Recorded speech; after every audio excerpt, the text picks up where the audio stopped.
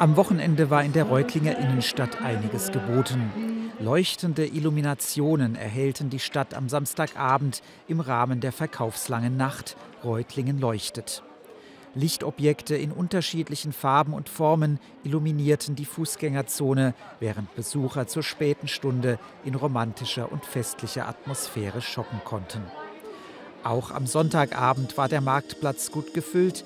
Hier präsentierte ein Feuerkünstler seine Show und sorgte für leuchtende Augen im Publikum. Dabei ging es heiß her. Funken sprühten durch die Luft und Flammen züngelten rhythmisch durch die Dunkelheit. Die feurige Show findet jeden Adventssonntag im Rahmen des Weihnachtsmarkts statt. Immer um 17.30 Uhr auf dem Marktplatz und um 19.30 Uhr auf dem Weibermarkt.